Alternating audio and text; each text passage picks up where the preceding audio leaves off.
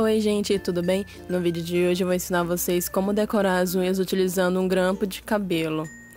Esse daqui eu abri ele, aí você pode usar as duas pontas, mas vai dar o mesmo tamanho de bolinha, então tanto faz. Aqui eu já tô com a unha esmaltada em azul claro. Aí eu escolhi três cores para essa decoração, que foi o verde musgo, o azul escuro e o preto.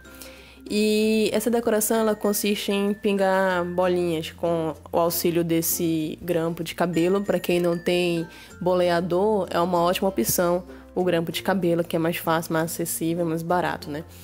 E aí você vai pingando bolinhas aleatórias. Você que define o tipo de desenho que você quer fazer. Aqui eu vou, estou fazendo bolinhas na lateral da unha, que eu acho que fica mais moderno, na minha opinião. Mas você pode criar infinitos modelos de, de desenho somente usando bolinhas, tem muitas opções no, na internet.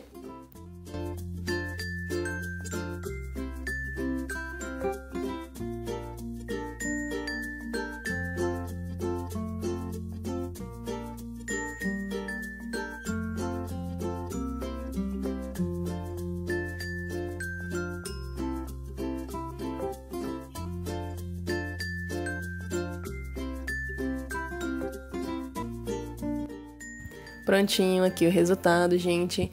É, vocês esperam secar bem para poder passar o extra brilho.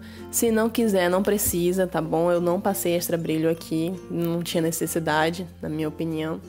E é isso, gente. Espero que vocês tenham gostado do vídeo. Não se esqueçam de se inscrever no canal, de curtir o vídeo. Se teve alguma dúvida, pode deixar nos comentários. Se vocês querem outro tipo de vídeo, pode deixar nos comentários também, que eu vou ler direitinho. E não esqueça de me seguir lá no Instagram que tem post novo todos os dias. E até o próximo vídeo. Tchau!